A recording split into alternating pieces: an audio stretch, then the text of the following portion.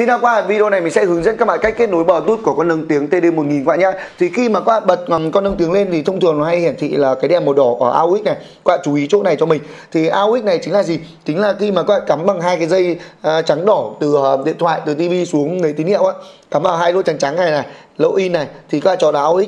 Còn nếu mà mục đích của các bạn bây giờ là chọn Bluetooth đúng không? Bạn bấm vào nút input này giúp mình.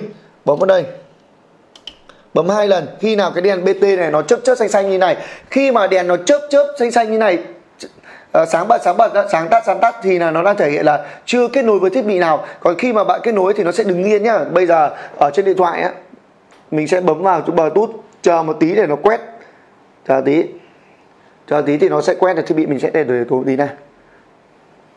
Đấy, các bạn chờ tí nó quét này. Và khi đó ở dưới này nó sẽ hiện là CB1000 là cái con lưng tí này. Bạn ấn vào đây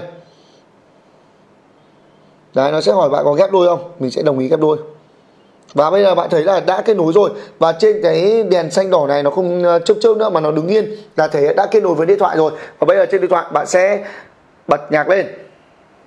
Đấy, mình sẽ bật nhạc nhá. Đấy, kêu ngay